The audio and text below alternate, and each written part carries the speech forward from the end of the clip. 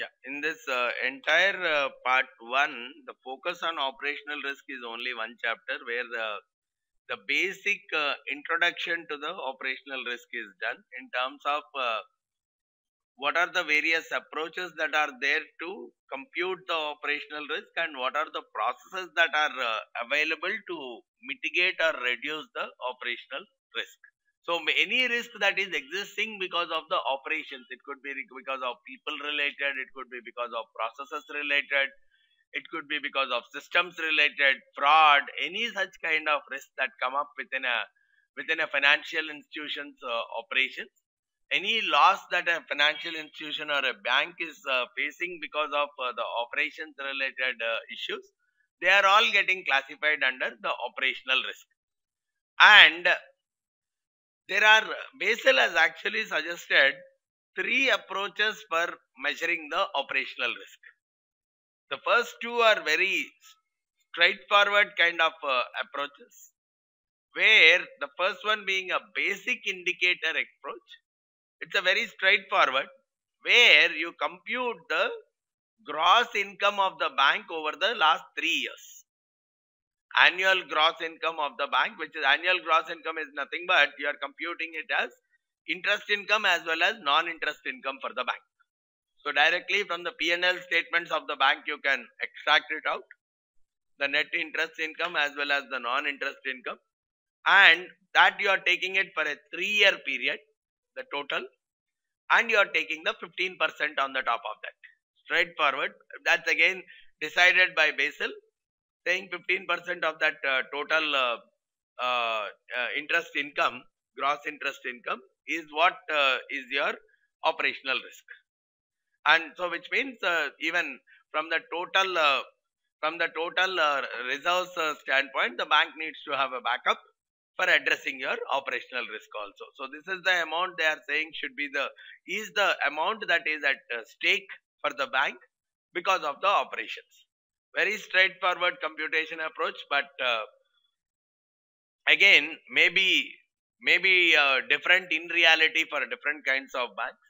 So the next approach that has been brought out is a slight improvement over the basic indicator approach which is the standardized approach wherein instead of directly allotting 15% to all the departments a small modification has come. The whole uh, whole banking functions have been broken down into eight major lines of business.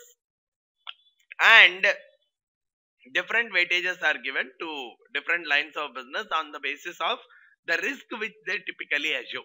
Some kind of uh, some kind of line of business which may not have too much of risk in terms of defaults very heavily the retail banking part or the asset management or a retail broking part where the where the volumes of the risk is not that heavy, the weightage of 12% has been assigned to them. Those departments where there is a high chance, this is we are talking of operational risk, not the default in terms of credit uh, or anything, the operational manipulation issues. So the operational manipulation issues uh, have been observed across the across the various bank across the world, it has been observed that in these kind of lines of business, uh, they are quite lesser compared to some other lines, the investment banking lines, which are much higher, where there is a possibility of a fraud and tamperings and system manipulations. Even most of the majority of the risks that have majority of the downfalls that have occurred, which we will see in our case studies also, majority of the system based manipulations and all they have occurred in these kind of departments uh, the investment banking departments uh, of the company. The trading desk has done a lot of, or even the trading back office. These have typically uh, done lots and lots of manipulations even the settlement services where some fraud trades used to be entered or uh, some of the trades were never settled at all. So these are the places where in reality they have observed that they are exposed to heavy risk and that is where the standardized approach has said compute the gross income for each of the eight lines of business separately and multiply them with the 18% or 12% uh, or 15% uh, as appropriate to that particular department is. Otherwise the basic indicator approach was a straightforward 15% for all departments for across the bank. Easy to compute right from your p&l statement. Whereas uh, for standardized approach it's not that easy to compute from the p&l uh, statement because for each of these lines of business you are trying to find out uh, the gross income for each of the line and then multiplying it by the appropriate percentage to estimate the value of your operations risk. Whereas the third one, which is a mathematical approach, what Basel has been suggesting is, now there are two things that will cause, that will, that will help you in finding out the size of, uh, size of the loss. One, what it is saying is the frequency. The frequency of losses how many losses are occurring in a specific period. And the second part is the severity. Assuming a loss has occurred, what, what is the size of the loss? Now, it says probably you use, you, you, you, create a model for the frequency. In general, some kind of a statistical distribution can be used to model frequency. The most common distribution that is used is the Poisson distribution for modeling the frequency of losses. So it is it is uh, more like for having zero loss. See the typical uh, graph of a Poisson distribution looks more like this, wherein yeah the probability of zero or one risk, one loss is very high. I mean, one, one fraud, two frauds, the, the probabilities of them are very high, but probability of 20 fraud, 30 fraud, 40 fraud, their probability keeps going down in a general kind of a behavior. Right? During a specific uh, period, let's say we are talking about a month or something, the, the chance of less number of losses is very high and the chance of higher number of losses is very, very less. So typically, uh, people felt that a Poisson kind of a distribution is a very good fit to model the number of losses during a specific period and to model the severity they generally uh, depend on log normal distribution. Because uh, we have seen the shape of it uh, earlier the log normal distribution will be more skewed towards the right. So the chance of a very high loss occurring right there could be very uh, there could be one or two losses which are very sizably high. So th that is where the severity generally gets uh, modeled as a log normal kind of a distribution. And when these two are clubbed that is what we are calling as uh, the loss distribution. Typically for the operational risk when we are talking about uh, the loss distribution the advanced management approach says you can have your own uh, uh, model for uh, modeling the uh, for modeling the loss frequency. Another model for modeling the loss severity.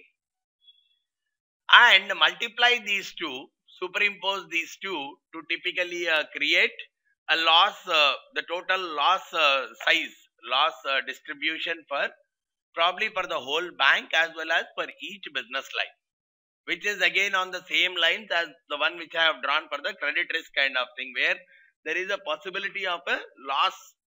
In, in some cases, the loss is going to be very, very high, which is where it is getting created as a left tail kind of a distribution with respect to potential loss. And now what it is uh, saying is if the expected loss is coming somewhere here, the mean, this entire thing is typically coming out into the unexpected loss.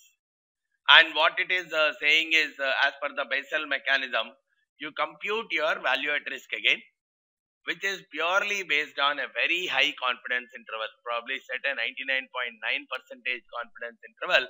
And based on this, you can create your uh, uh, the, the amount that is at risk, which means you need to have that much of a backup as a part of the protection against the operational risk of the company. So, using an advanced management approach, there is no fixed percentage or something use your own historical data see in the in the basic indicator or the standardized approach no specific approach for a bank.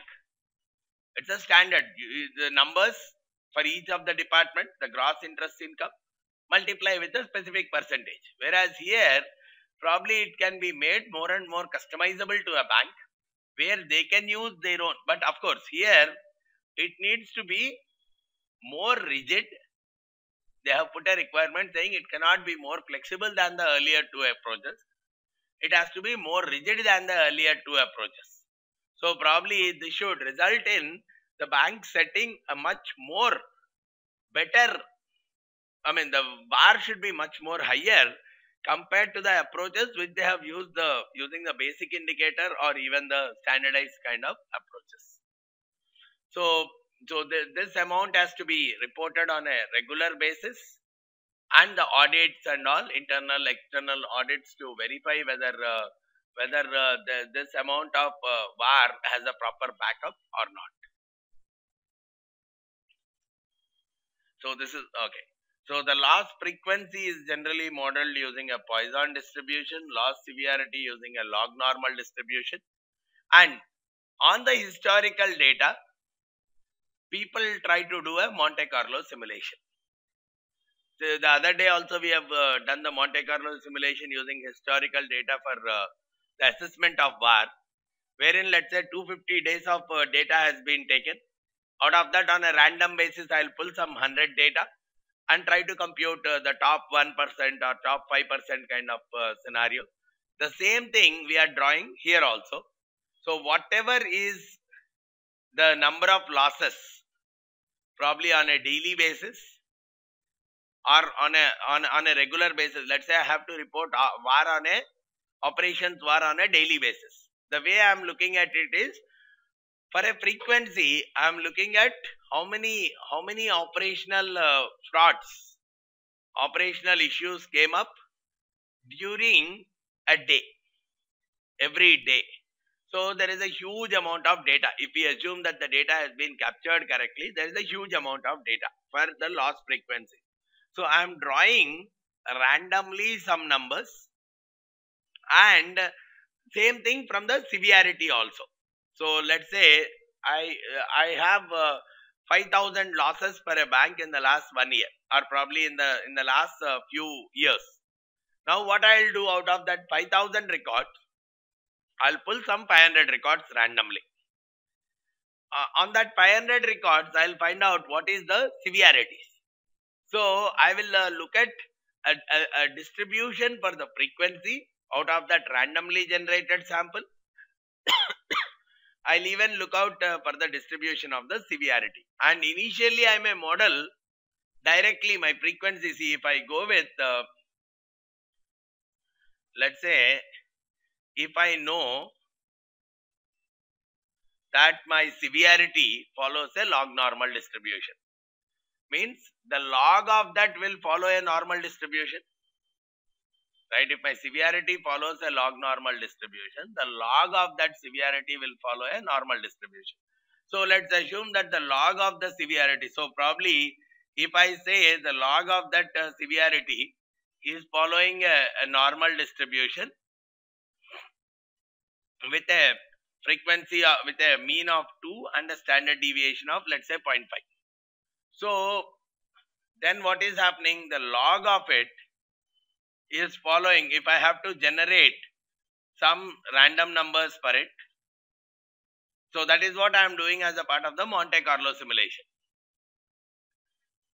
So if uh, the log of it is following a, a, a, normal distribution, right? Log of the severity is following a normal distribution. So probably let me increase it uh, slightly. Let's say this is 8 and this is 1 or something. Okay, log of this is following a, a, a normal uh, distribution. So like this, when I have looked at uh, my various severities, which is the impact of loss, various losses and their impacts, I have found that their uh, log, the average of their logs is 8 and uh, the standard deviation of their logs is let's say around 1. Now when I am using the Monte Carlo simulation to generate some thousand uh, output, this is what is getting generated. So based on this, I can even do the reversal, which is the exponent of it, which will tell me that this is what is this loss. So these are my losses. So some losses are this, some losses are this. So out of 1000, these are my losses. Now if I want to find out 1% or 99.9%, it means 0.1% if I find out, that is what 0.1% on the higher side is what is my severe, the highest possible loss going with this kind of a distribution. So 0.1% of 1000 is the first element. So the maximum value out of this, the maximum value out of this or the minimum value of the negative of this. So the maximum value of this almost 1, 158 is what is the possibility of an extreme loss that can very well occur. So what we are saying from this standpoint is the operational risk or the, the VAR for this operational risk assuming a 99.9% confidence interval in this kind of an example is coming out to 1,58,000 kind of stuff. So, but the ma major problems that are uh, coming in this process, so it is continued several thousands of times because uh, one value may or may not be biased. So, if I am doing it once again, probably, yeah, it is coming only to 60,000. So, either I reiterate with maximum number, right, or I have to do it as many times as possible and I take an average kind of a figure of all the outcomes that are typically coming out. So, so to, uh, to create the potential loss distribution, even the frequencies are modeled several times. So for a frequency, because I am talking about it as a Poisson distribution, again there is a mean and a variance and everything that is associated with the Poisson distribution. And from there also I can generate one Monte Carlo simulation. Similarly, for log normal distribution, there is a mean and a standard deviation, which means uh, for a log normal also I can generate uh, one distribution multiply by 2 to come out with a potential loss distribution but the biggest problem is availability of the historical data is a very big problem for many of the companies uh, the operational data how many frauds have occurred till date and uh, what is the size of each of the loss fraud again need not be a people fraud. It could be a process uh, it could be a process issue it could be a data entry issue it could be a system issue it could be right uh, because of all these things regulations uh, impacting them not awareness related issue all of them are typically coming out as a part of the operation risk capturing each and every risk and uh, the, the frequency and uh, the severity of each of the risk is always a big issue till date with the bank many of the times uh, they they never used to be a documentation associated with these kind of risks so that is where a database of a potential loss events is what that is typically generate uh, recommended by Basel now. Whatever are the various loss events that are potential that can occur, the every bank has to develop a potential database of all the possible uh, losses that can uh, occur. Based on which they can use the help of some external database right? Basel's recommendations or some other bank's database in terms of finding out what could be the typical number what could be the typical number for the default uh, i mean for the frequency of losses and what could be the default uh, number for the severity of the losses but it differs from bank to bank very significantly so that is uh, that is if, if in a comparison again there is a kind of an empirical formula that has been uh, arrived at if we are talking about loss estimate of bank X from the loss estimate of bank Y. What people have found out is they follow some kind of an exponential kind of a relation. It's purely derived from the empirical observations of the comparison between the revenue of the bank and the loss estimate. Right. So, what has been typically uh, derived at is the relationship is following something like this revenue of the bank Y by revenue of the bank Z to the power 0.23. 0.23 is again derived from statistical empirical kind of a mechanism. So if at all I want to use the external data. I mean, I don't have, let's say I'm a new bank or I don't have a, a proper database of all my historical losses and all. So one of the mechanisms I can estimate the loss for my bank is take some other bank's estimated loss, take their revenues into consideration along with my revenue and based on that use this kind of a relationship to estimate the expected loss for this particular bank from an operations perspective. If you have your own mechanism to build it, fair enough. But otherwise, if you are depending on an external mechanism, then even this kind of relationship with respect to its revenues can very well be done. Then, so it came out like the logarithms of the loss ratio and the logarithm of uh, uh, logarithm of revenues ratio of two banks, they are primarily linearly related. So if I have to take it uh, back, the logarithm, uh, the, if I remove the logarithms, it is directly uh, becoming to the power because a log m is nothing but log m to the power a. So that is how the relationship is coming more into the power. And when it comes to managing the operational risk, this is more and uh, more in terms of uh, what you call uh, the theoretical uh, aspects.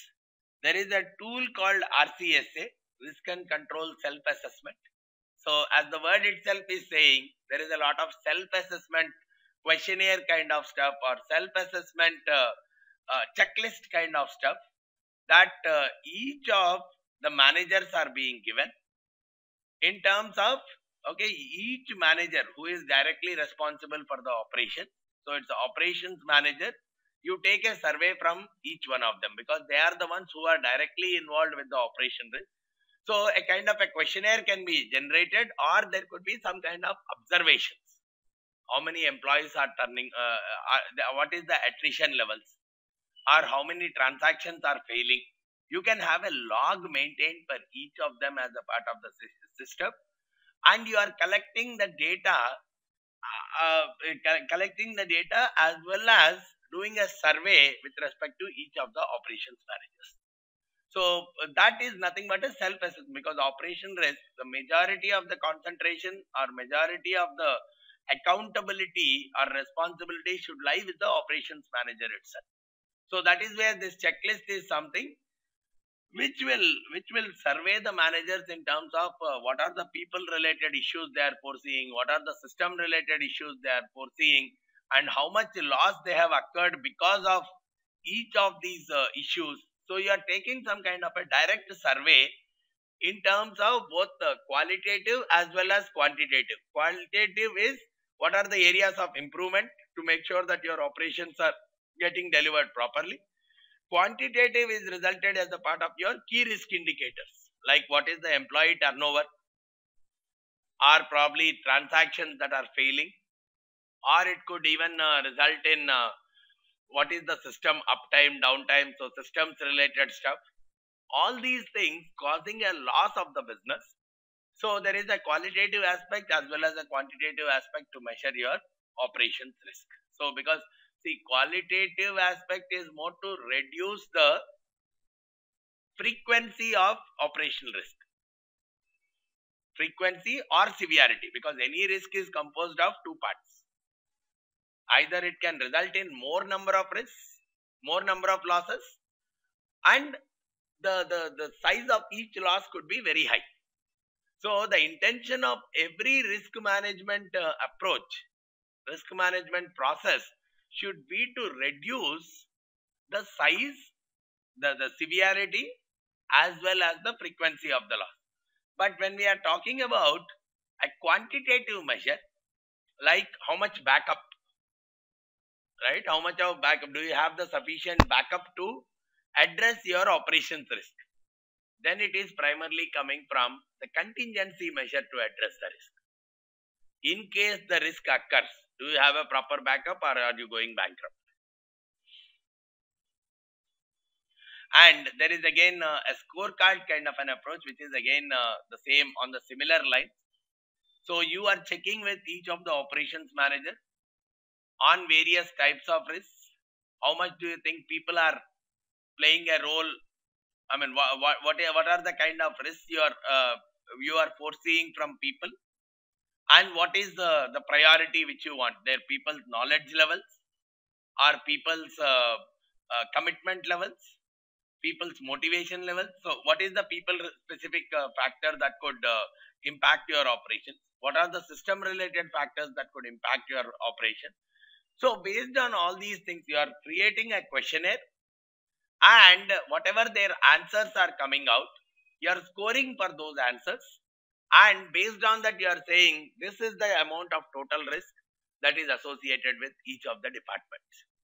So based on that scoring you are trying to compare you are trying to match okay this is the score this was the loss. You are trying to find out a correlation relationship between the score which you have derived through the questioning of the operational managers vis-a-vis the loss that has occurred in each of the departments and some of the elements that can typically help you out is uh, okay what is the level of monitoring that is happening so supervisors to the staff is the monitoring adequate or not employee turnover, the number of uh, positions closed. So HR related issues also can come up. Positions uh, which are open for a long period of time, which means uh, the load is there on the existing team itself, which could cause a big issue with their operations uh, performance level. So you are trying to design. There is again a big set of questionnaire available. You are trying to design a big list of questions, assign a scorecard, and trying to map that scorecard with respect to the operational losses that have occurred in the past. So this is a very important uh, aspect. Uh, the mathematically, if you are trying to find out what is the level of risk. Just now, as I said, see, uh, they, in most of these uh, distribution, there is a possibility of fat tail.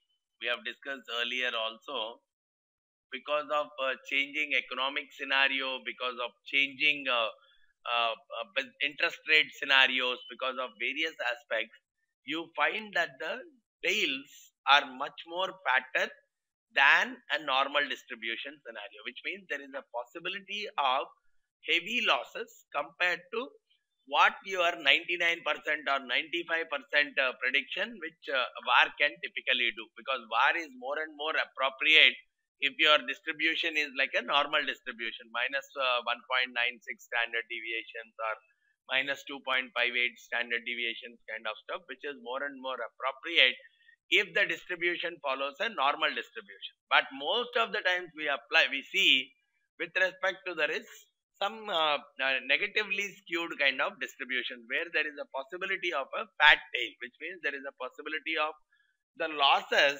more than what are being predicted by your uh, normal distribution. So because of that how much severe right uh, what is the strength of the tail there? And that is where we have introduced uh, a formula called as a power law formula wherein we are talking about some constants k and alpha again decided from your original data. The value of the portfolio greater than some x. The probability that the value of so basically if uh, if i say this value is some x right this, this particular value which is the loss. Let's say if i'm saying the loss is some x what is the probability that the loss is uh, the, the, the loss is less than this x which is like a confidence interval for us? The, not the tail. What is the probability that uh, the, the, the value of the portfolio is greater than this x that is what is generally in case of extreme value distribution it is given by kx to the power of minus alpha where k and alpha are again two constants which are derived from an empirical relationship using a power law. So basically, historically, I'll take the data, right? Uh, uh, historically, the data is uh, taken with respect to X, which is like uh, the loss amount, which is predicted by a normal distribution. What is the probability that the value of the portfolio, So I can take different values of x. If x is equal to 20, right? If I'm saying the loss value is equal to 20, what is the probability that the, the, the loss is less than 20? So uh, if, if the if the loss threshold, ah, this is threshold, if the loss threshold was set at 20, in how many cases was the loss more than 20 historically? Look at it like this. See, when I set the threshold at some 20 lakhs per day, right? In how many cases was the threshold less than, uh, was the actual loss more than 20 lakhs? So probably if I am saying 2 out of 1000 cases, the loss was more than 20 lakhs. So then this particular side, I'll write it as 99.8%.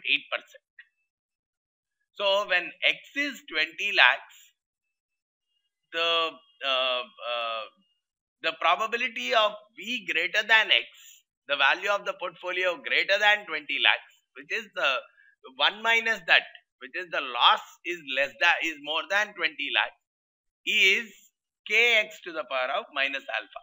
So which in, in reality came out to 99.8%. So what I can very well do, this is the historical data I keep going ahead with. Okay, if the threshold was set at 30 lakhs, what was the what was the probability that the value is greater than 30? If the if the threshold was set at 40 lakhs, what was the uh, what was the chance of uh, the loss more than 40 lakhs? On in how many occasions was the loss more than 40 lakhs or in how many occasions was the loss less than 40 lakhs? Either of them. 1 minus this is this. So what we are saying is using these two, a regression relationship is re developed using the power law formula. See, basically, this see what this power law is saying is in case of extreme distribution, if I set this is my threshold. Let's say today a bank is setting, right? Let's say I'm considering 100 banks as a part of my sample. Bank 1 has set its threshold limit at 20 lakhs. When the threshold limit was 20 lakhs, I will find out daily limit. Let, let me say the threshold daily limit is 20 lakhs. Right. Now when the bank has set a threshold daily limit of 20 lakhs, I want to find out within the year, within the last uh, 300 days, within the last 300 days, in how many days was the loss, was the daily loss uh, less than 20 lakhs? or more than one one you find out one you can find out the other. So what is the in how many out of those 300 cases was the bank's daily loss because of operation? Less than 20 lakhs so probably if i say 99.8% of the cases it is less than 99.8% uh, of the cases it is uh, less than uh, 20 lakhs now the same thing i'll observe with the bank too. Okay, what is that they have set as a threshold? If they have set 30 lakhs as the threshold, I'll try to find out, uh, okay, 99.7% of the cases, they had uh, the loss which is less than the threshold. Now, what I am trying to do is, this is nothing but X. I'll try to take the data for various banks across various periods. So, the threshold limits I am taking as X. The probabilities I am taking on the other side I'm trying to do a regression relationship between the probability and the x. Using, I'm trying to fit the parameters called k and alpha into it. Right? Probably, uh, let me try out if I can get a, a numbers into it. See, when I'm saying 20 lakhs is the threshold, let's say 99.8% was the 99.8% uh, uh, uh, of the times my loss was less than 20 lakhs. If 30 lakhs was the threshold, right 99.9% of the cases let's say i am less than 30 lakhs. Right? And similarly i can do a lot of things. Probably if another bank is having 10 lakhs only as a threshold then 99.5% of the times they were more than they were the loss was less than the threshold. Another bank having a 50 lakhs as a threshold probably from 99.95 times they were less than the threshold. Like that i take the observations of so many banks. Now using this taking this as the independent variable sorry dependent variable and taking this as the independent variable i am trying to come up with one equation right I am trying to come up with uh, one equation of this form.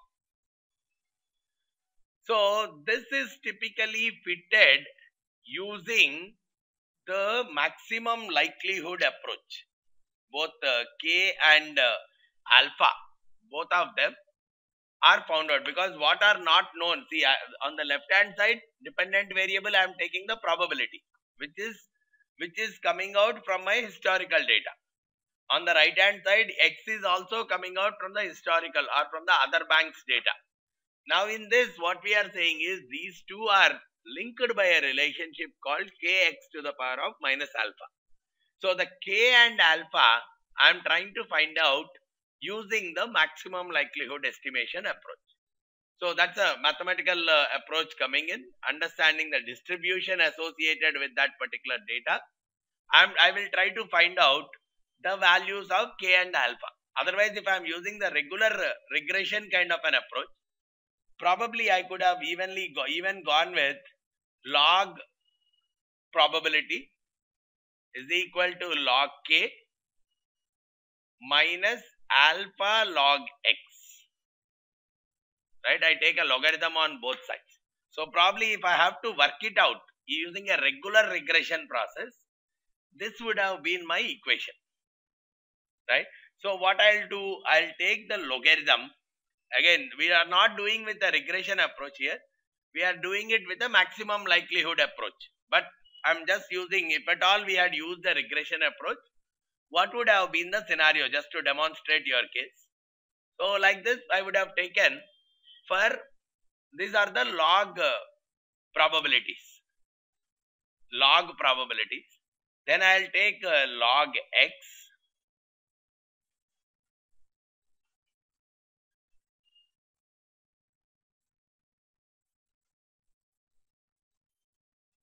Then I'll take uh, log x.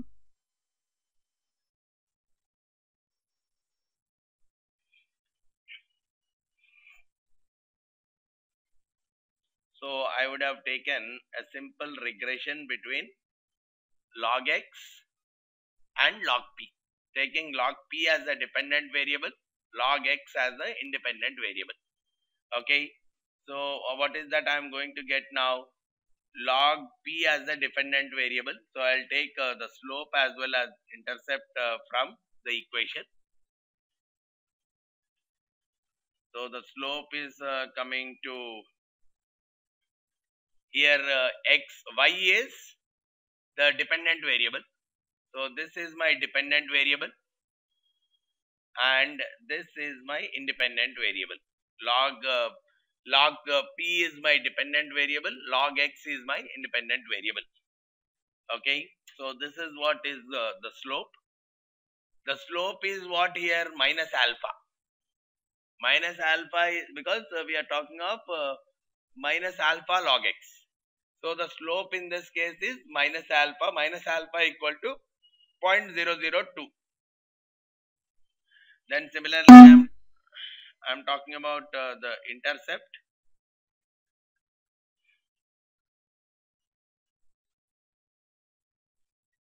Wherein uh, y's are this and x's are this. So what is my intercept minus 0.01. So from here log k equal to that much. So from here I can find out what is k. k is uh, going to come out uh, to this one. So my k is this much and uh, minus alpha, alpha is going to be that. So minus alpha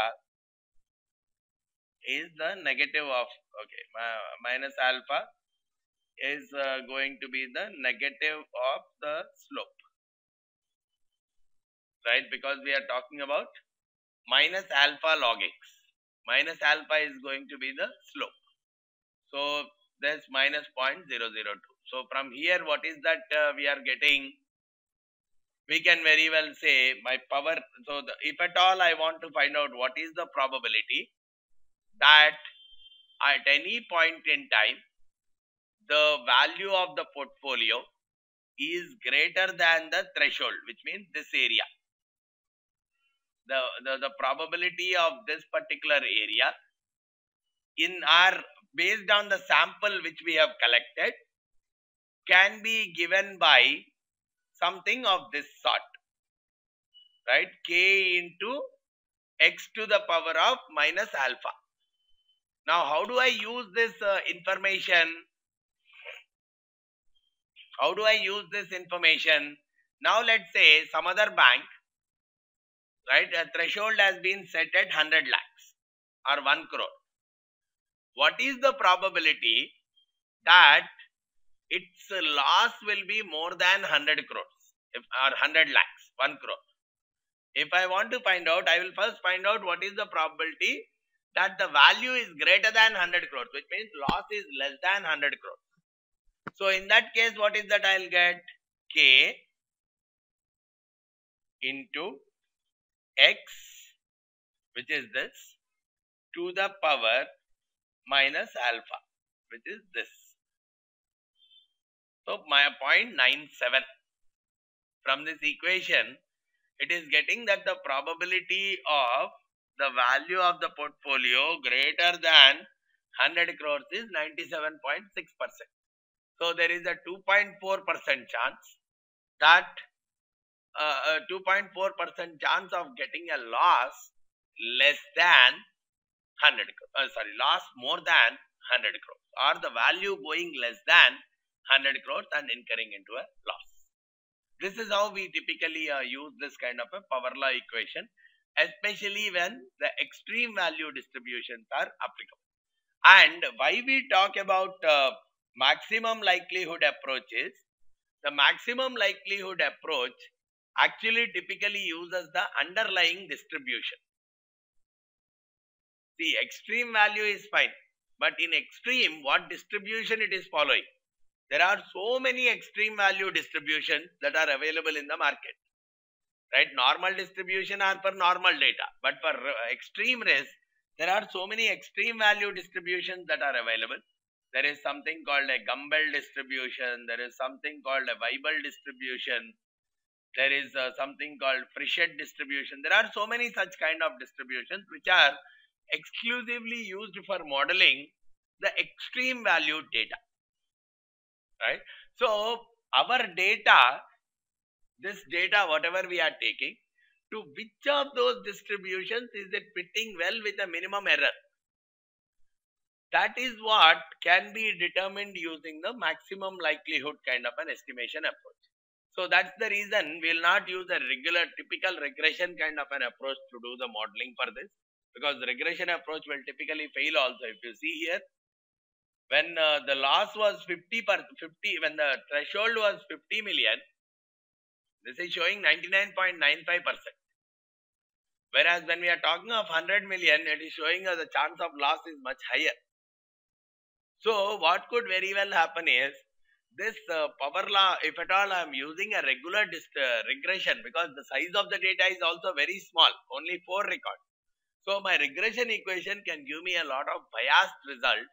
So that's the reason depending on the maximum likelihood approach is always a better approach than the regression kind of an approach. And that is how I compute the VAR at very high confidence intervals. Just like the way we have looked at now using the power law. I can very well uh, set one threshold level so I will see what is the x. Now, how do I use that information? What should be the x which will give me a 99.9 here. So, if I work it out in a reverse way, right, probably for the same equation, if I work it out in a reverse way, I want to make this number, let's say 99.9%. 99.9% by working out on what should be the threshold.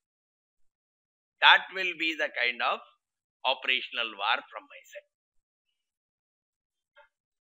Getting it? So if I work it out, probably this may say, okay, in this example, probably, ah, now it is able to determine, right? Almost if I, probably my numbers and all are slightly issues, it must uh, go the other way. What this is clearly uh, saying is, uh, if at all uh, my loss is decided at 0.039, there is a 99.9% uh, chance of the value greater than that 0.039. So the threshold has to be set at such limit. Probably our data is having an issue. So, and that too the size of the data is very small, but otherwise in reality, we may have to compute it through this kind of a process. What should be the threshold that I have to set? So that 99.9% of the threshold will have a value above it. Oh, sorry, I may have to take minus 100. Uh, uh, the x only I am calculating. No, k we have taken from the estimation. Why? When I said x equal to 30, the probability should be lesser. But I have taken it them as higher here. That also could be the issue. So here, uh, it, they should be in the reverse order. So probably this should be let's say around 85% uh, whereas uh, this may have to be around 75% uh, this may have to be around 90% and so now you will see something else so this uh, may have to be around 50% uh, or something now if at all uh, if at all i need a 99.9% what should be the amount of x which i have to set that will give me the typical value. So probably if I execute it now,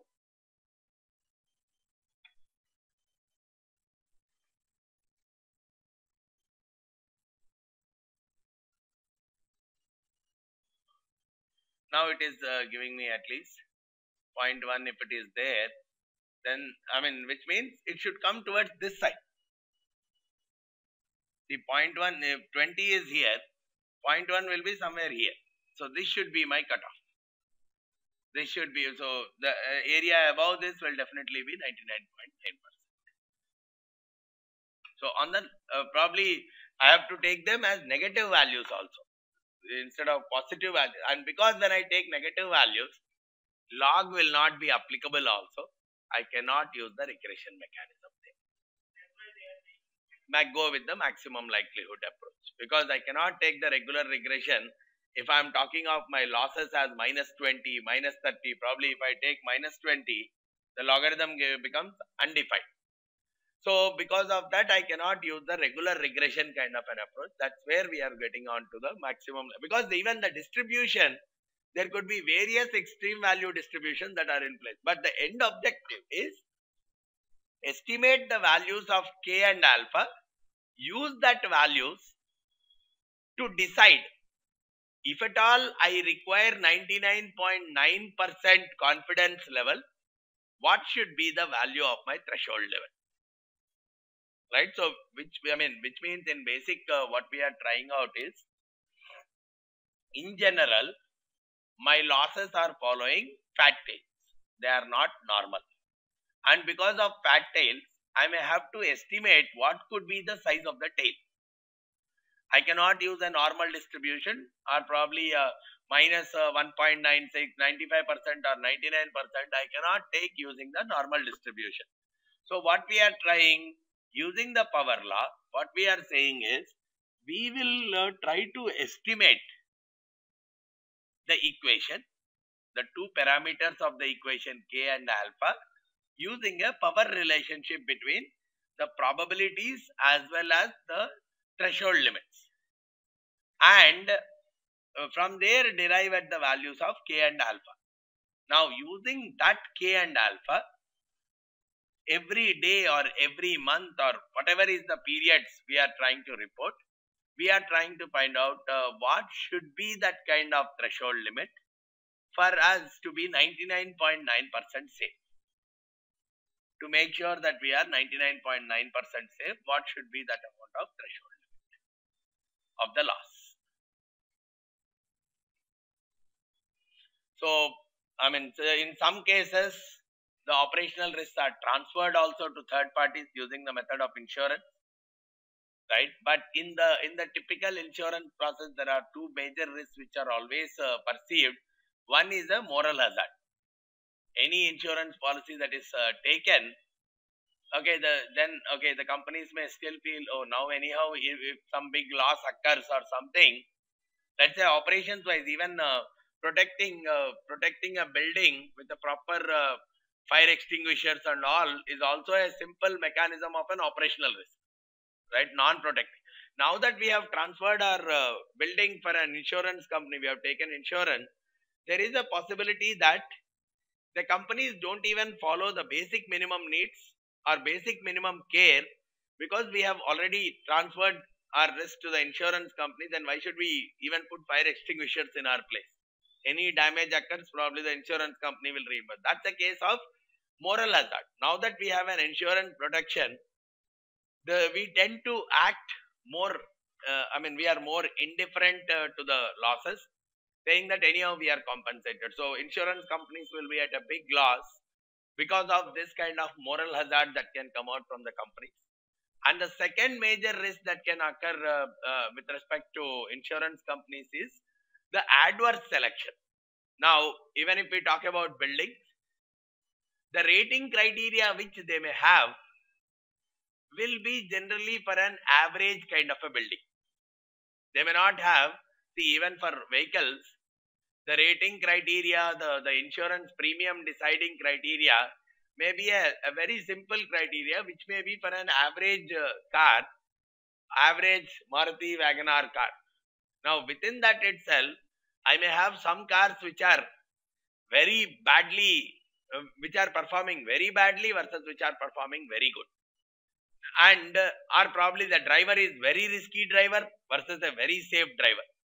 Now the adverse selection what it says is there is a, a very high chance that people who think they are very risky they will try to apply for more insurance protection compared to people who who think they are very less risky. Of course, in case of vehicle insurance, it is a mandatory thing. But in a lot of, let's say, home insurance or something, people who try to insure their homes, they typically uh, they are typically looked at as someone where their house is slightly more at uh, risk compared to those houses which are very less at risk. So even in case of life, someone who wants to go for a insurance policy, life insurance policy, probably at a 50 years or 55 years.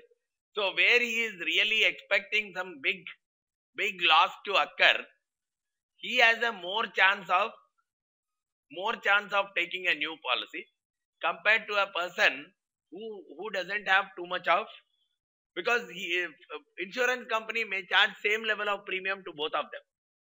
So it may so happen that the high risky person is relatively paying lesser premium because though he is having a higher risk whereas the low risky person is paying a much higher premium compared to his risk level. So this way insurance companies again may have issues in terms of giving the uh, uh, policies and doing a risk assessment also. And uh, and that is itself is another operational hazard. Probably if banks are getting into insurance policies nowadays a lot of banks have get into the insurance operations also. So from uh, from the bank's uh, standpoint, even these kind of uh, problems can literally crop up. So that is what we are seeing. If at all I want to mitigate my operational risk, the insurance companies can typically point out these two areas and probably reject the policies which can very well result in me not being able to manage my operational risk through this insurance policies also.